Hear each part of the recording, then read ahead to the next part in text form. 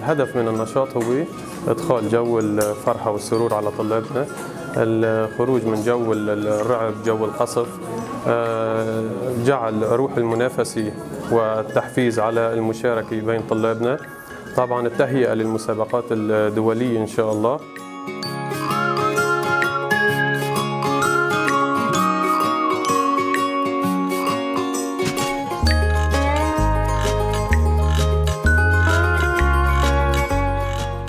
شاركت في مركز شداد في اللغة الإنجليزية. الحمد لله كانت الأسئلة سهلة. أنا جئت من مدرسة فضل الخطيب. وإن شاء الله